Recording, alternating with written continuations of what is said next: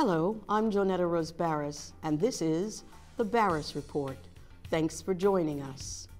I grew up in the deep segregated South, living for a significant part of my life in one of New Orleans, Louisiana's most notorious public housing complexes.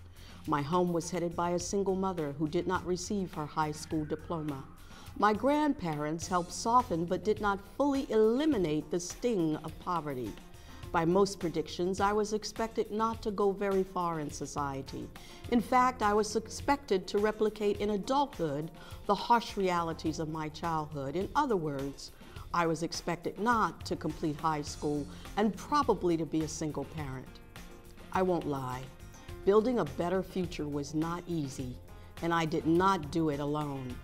I'm convinced, were it not the teachers and administrators at George Washington Carver Junior High School and McDonough 35 Senior High School, my dreams would have been buried in the hard soil of the Desire Project.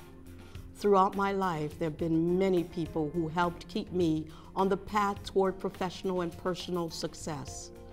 But the foundation for who I was to become was built by the stellar public education I received, even during a time of stifling segregation when there were crumbling structures, insufficient resources, and instructors. So when there are reports that students graduated from high school despite excessive absences and perhaps without meeting the academic requirements established by law, I become enraged. I know the importance of a solid quality education in opening doors and providing an opportunity for an improved socioeconomic status. Education is the prime vehicle for achieving that proverbial American dream. It is hard for me to fathom that in these times, children of color in many urban centers, Detroit, Chicago, Atlanta, Chicago, and even Prince George's County, are being shortchanged in school systems largely led by people of color. The District of Columbia has budgeted for this year $2 billion for public schools. That is the second largest expenditure in the city's budget. Those $2 billion come from residents and businesses. So not only are we failing our children, we are mismanaging public dollars. Why can't the city design an academic program that keeps children engaged in learning? Why can't they engage parents in the process? How did students graduate when they should not have graduated? And why should we care that DCPS Chancellor Antwan Wilson has decided to establish an Office of Integrity? Joining me to discuss the crisis in public education is Ward 3 DC Council member Mary Cheh, who, to her credit, was one of the first elected officials raising concerns about the published graduation rate even before news reports.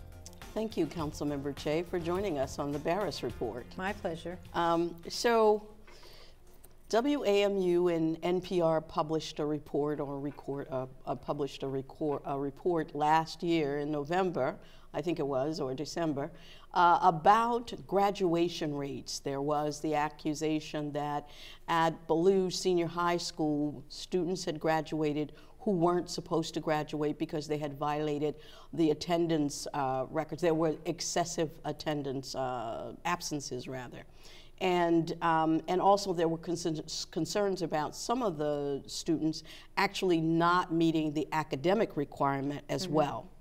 Now, um, there was, the mayor ordered a report, the council had a hearing, uh, we just heard recently about what that independent investigation found. It found that at least 34% of the 27,000, uh, 2,700 students or so who graduated citywide actually violated um, either attendance records and or academic, uh, there were problems with academics they, uh, in terms of their uh, credit recovery. Mm -hmm what, what I found interesting about all of this is that, um, uh, and I should mention, I should mention this before we go further, is that uh, Washington, D.C. isn't the only place where there are concerns about uh, student attendance and, and also academic. We, we look at some of the major uh, urban centers, Detroit, New York, Chicago, Atlanta, all of them, even, even Prince George's County, all of them are having some kinds of questions about uh, grading systems and or graduation rates. But, but here in the district, I think we were all, some of us were very shocked. You weren't. Um, you had already sent, yes. as I understand, a letter to the uh, superintendent of education and to the chancellor raising questions about the graduation rate as compared with the standardized test scores. Mm-hmm. What what I couldn't understand was uh, my colleague Jeff Anderson wrote about this in the barrasreport.com about your letter, and what I was fascinated was is that why is Mary Cheh, the chair of the Transportation and Energy Committee, basically drilling down in these numbers, why isn't the chair of the Education Committee, David Grosso, drilling, drilling down and discovering this information? How did you discover it? Well, uh, let me just say, when I was first elected, which is now over 10 years ago, one of the things I was focused on was the poor condition of the schools, both the physical condition and also the education uh, that our students were uh, getting, and the big gap uh, between uh, higher income and lower income uh, communities.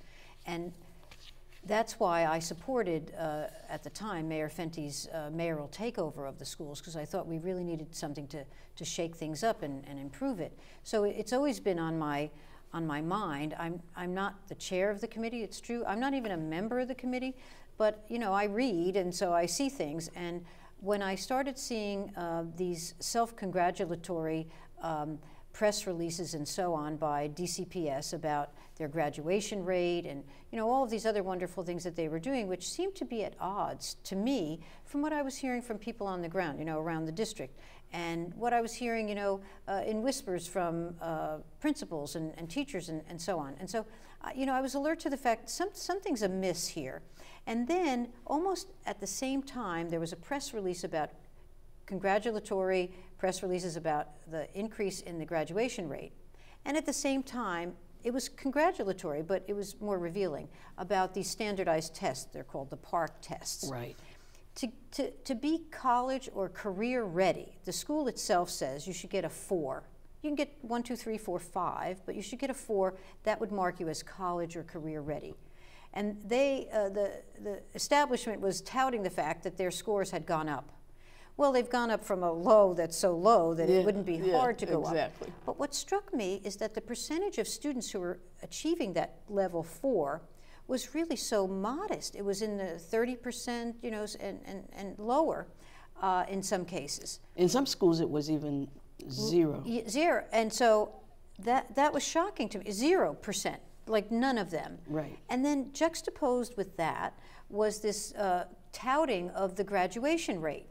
Now, how could the graduation rate be growing and be high when the numbers of students who are, by their own account, college and career ready is so low? That's what prompted me to send the letter to the superintendent and to the chancellor.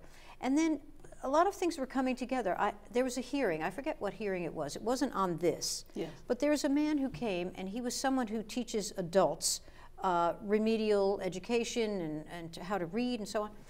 And since he was there, I said, you know, excuse me, I just want to ask you a question. I said, you teach people who have low uh, reading and writing skills, some of whom are functionally illiterate and so on. I said, how many people, adults in your program, have DCPS diplomas? He said, oh, well, about all of them. Mm -hmm. I said, really, all of them? And yet they're mm -hmm. coming here because they're functionally illiterate. illiterate. And then it jogged my memory uh, of something that uh, then chairman of the council, Gray, used to do. He used to have a Saturday uh, opportunity once a month mm -hmm. for students from around the district to come in and testify. Oh, I remember, Do you remember those. That? Yes. Okay. On more than one occasion, you would have a middle school or high school student who would have his or her testimony, and they had really great difficulty. They could mm -hmm. hardly read it. Mm -hmm. That's bad enough. But then Chairman Gray would ask the student, Well, how are you doing in school? And they would say that they were getting A's and B's. Mm. That seemed to me incomprehensible. Right. So all of these things started, you know, churning in my mind, and I was really worried about it. And then this business came out about the attendance. And we made, we've made much about the attendance, and we should. And we've made much about the, the fudging of numbers, and we should. Right. But what underlies the whole thing, which disturbs me most, is that we're sending kids out with a diploma and they're not ready, uh, college ready or career ready. They're not ready really to go out and They're not even ready in some instances to read the average newspaper. Absolutely. and so this is something that's been on my mind, but it's, it seems to have come to a head now, and I'm happy about that. Well, the thing that, that I, I was impressed with in your analysis was that you had two sets of data and you were cross referencing these data to come with.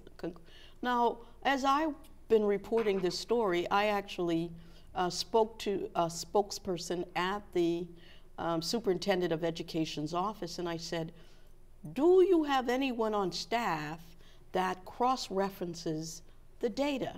So you have attendance data, you have your test score data, you have your graduation rate. Is there someone looking at this and could have discovered this if you were looking at it? And I'm telling you, she told me, no. No. What is the point of collecting this information mm-hmm. if you're not looking at it or if you're just going to keep it in silos? The idea is to Right. so you know the population that you're dealing in and, and what their problems are and what their concerns are. I think that was discussed recently at a hearing that the council called the Committee on Education had a roundtable discussion. And I think this may have come up as a result of maybe a question you asked or something. Well, there, there are a lot of problems here. Uh, one of the problems is that uh, with Chancellor Rhee and then Chancellor Henderson, and now even Chancellor Wilson, we'll have to see, he's been there over a, a little bit over a year now. Um, the whole idea was to, fair enough, shake up the system because it wasn't producing such good results, but also to use data to, to, to measure how well they're doing. Uh, and so they were chasing easily identifiable data and things that made the system look good, in some cases misrepresenting it. I'll give you one example. Uh, at Wilson High School, when they had the first PARCC scores, these standardized tests, they scored rather low because a lot of the students blew it off and they had mm. some other things to do and whatever, and so they had a low score. So the next time they took it, they really made an effort to get the students to take it. And they did w- much, much better. And so when they reported that, they didn't report overall, they reported compared to the previous year, which was anomalous and shouldn't have been the baseline, how much they had improved. That's absurd. So not only are they not cross referencing data, they're manipulating data because the whole idea is to make themselves look good, make them look like they're making progress. And that also dovetails with this whole impact program. This was a program that Michelle Rhee put in place to measure the success of teachers and principals. And it carried, you know, a stick to it. You know, if you Yeah. didn't meet certain measurements, then you know you would you wouldn't be kept on, particularly principals. So there was a great um, implied and in some cases explicit, we're finding out, effort to tell teachers and principals you have to make these numbers look good, mm-hmm. even if it means you're pushing through students who are not ready. The combination of not using data to really learn about what's going on, but rather to make yourself look, Look good, good, and to manipulate data in order to look good has produced a set of circumstances where I can't trust really anything that they're telling us now. I was always a little suspicious, but now I don't trust it at I all. was always a lot suspicious, and I actually, quite frankly, liked Michelle and liked the whole uh, aggressive reform that she was bringing Mm-hmm. we in. needed it then. And and yes, and and what I haven't liked is that I don't think that there there has been this attention to academic achievement. Uh, also, under uh, Kaya Henderson, some of the best principals in the system were pushed out, Mm-hmm. and and so you had principals now who were being or who have been intimidated by the central administration, and so that's why you have some principals fudging numbers and Mm-hmm. uh, willing to graduate students and bending over backwards to give um, credit uh, opportunities to recover their credit uh, for kids who really didn't get the basics and shouldn't be graduating anyway. Right. What is your overall assessment of the school system right now? What, what do you see as the three major problems going on now? I think that there's not enough attention, as you were saying, to, to the real educational achievement, and that's the foundational problem.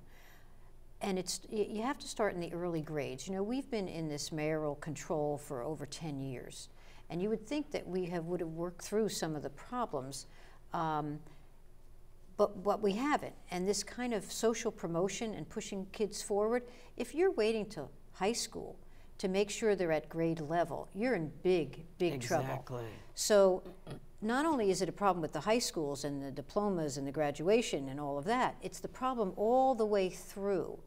And what has happened where there have been improvements, I've never had a clear delineation of whether those improvements that they have shown are A, true, but B, uh, based on the fact that you have uh, people coming into the district, millennials and so on, mm -hmm.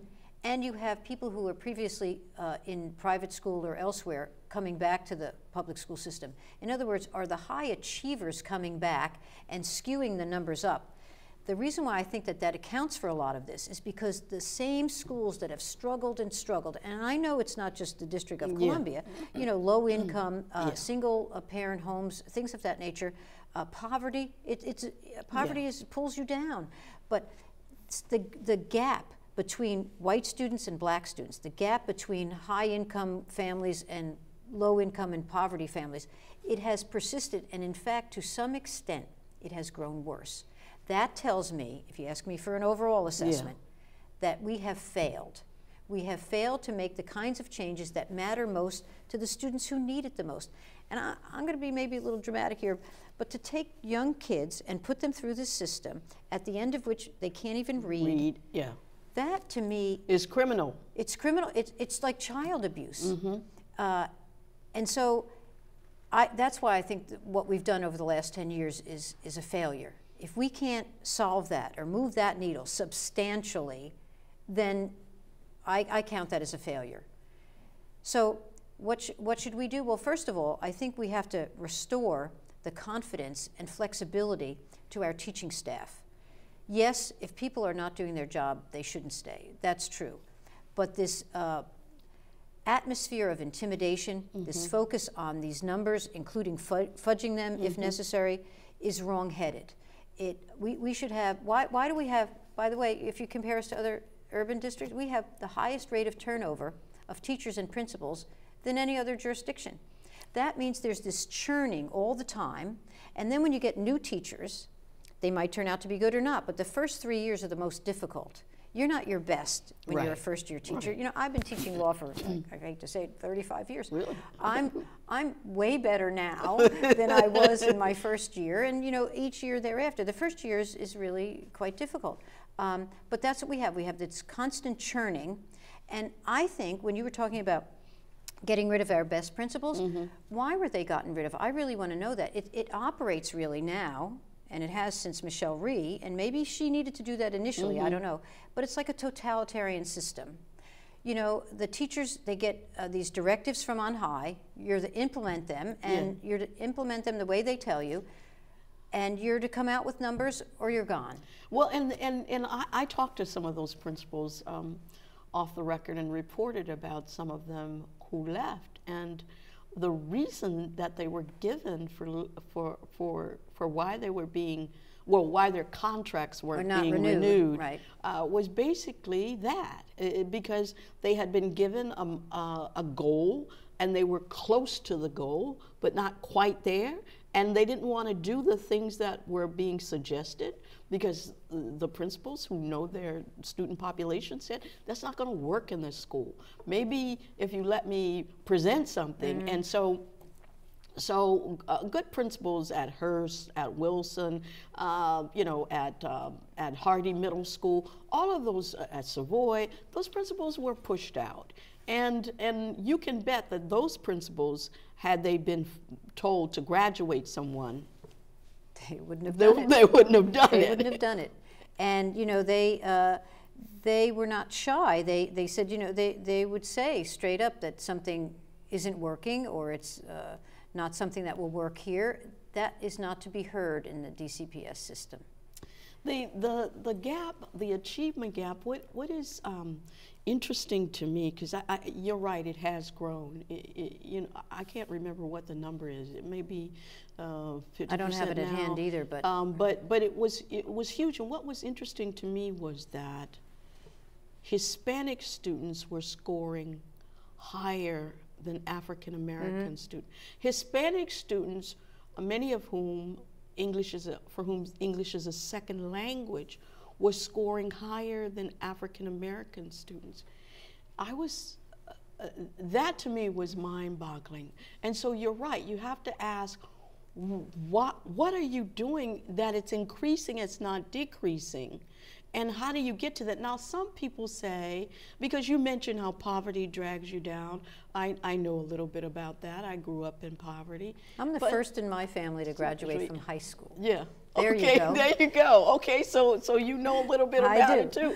And so so so you know, is the system bringing parents in into the process to help them better uh, feel that the education number one is important and number two that they can actually contribute to their child's Mm-hmm. education are they doing that Well, you know, the original idea, as I said, with uh, the mayoral takeover was to have schools um, uh, with, that, that needed it to have a, a whole variety of wraparound services and to make schools sort of a hub, an anchor in a community in any event so that parents or their caregivers, whomever, would feel free to come in and it would be, a, it would be like a partnership. They would be like community schools. And th- these operate, you know, around uh, the country. Um, but somehow that fell by the wayside, and I'm not sure exactly why. And, and I would also say it has to start early. We can't try to have these interventions later in high school and think we're going to have a material effect. We're not, uh, because by then, you know, the student is probably turned off by uh, the system, the way it's operating, and um, it's hard to bring you back up to grade level. If you're reading on a seventh grade level and you're in the 10th grade, that's a pretty big leap. Um, but uh, the idea is to, to, to have these community schools, first of all, have these supportive environments for teachers. The teachers do know if they're good teachers, and by the way, my kids, when they went to Murch Elementary School, when the next year would come and you'd get your teacher assignment, the parents knew who the really good teachers were. Yes. You don't have to go very far to find out who the really good teachers are because you ask the parents, they'll Right. know. Um, and if somebody's, you know, not so good, they'll know that too. And you know, if you get, let's say you got Mrs. So and So is yay, but if you got Mrs. So and So other than that, it's Yeah, like, oh that's my true. goodness, That's I'd like to get her out of that. Yeah. So, uh, you know, this. So let's say you have you have good teachers. Let the teachers understand um, that they will be supported when they want to, you know, bring their bring their students up and educate them. You know, this inflexible, on high mandates, and you know, reaching certain goals in the exact way that DCPS tells you mm-hmm. is wrong-headed. Yeah. So, and it has to start early when, when the teachers, you know, in, in the early, in the younger grades. And if there are students who are struggling, maybe because it's second language, maybe because it's, you know, home life, whatever it is, mm-hmm. intervene then and be, you know, be there with your social workers or s- some kids, you know, they need glasses or they have trouble hearing or there are other, you know, physical manifestations that we should pay attention to. We, we can't wait. We're not doing that anymore. That at least was the theory that we would have, you know, again, these wraparound services and, and, and treat the whole child. That, that's the idea. You may remember when Adrian Fenty was mayor, there was a woman who actually killed her three children, Banita Jacks. yes, I do remember and that. you remember that part of how the social worker or the counselor at the school uh, went to that house multiple times because the kids were missing school. In the case of these excessive absences that, that have been reported and were investigated, starting with Ballou, Dunbar, a whole bunch of other schools, Woodson, Woodson, I think, uh, H.D. Woodson has the highest number of absences. And so uh, I kept wondering, and I asked the state office of the office of the state superintendent of education, uh, uh, is anyone going out to these homes? Now, recently, the hearing, the roundtable, there was a discussion about um, committees, truant committee, truancy truancy, commi- yeah. committees, and and and whether there were visits were you shocked that no one, a kid is absent, you know, 60 days, 70 days, 120 days, and no one's gone out to the home? Uh, It's amazing to me. The kid could be dead, my God. Yeah, and those children were dead. Uh, that you were. Ta- that I talked to, yeah. Um, you know, I don't know how it was when you were a kid, but if you were playing hooky or truant or something like that, and you were se- seen out on the street, there were truant officers. They would pick you up and take you to school. Yeah. Uh, I, I don't know that we have that. Um, So what do you think has to be done here? What what aside from you know this the the concentration that you're talking about on the academic, there are all these other ancillary things that have to be.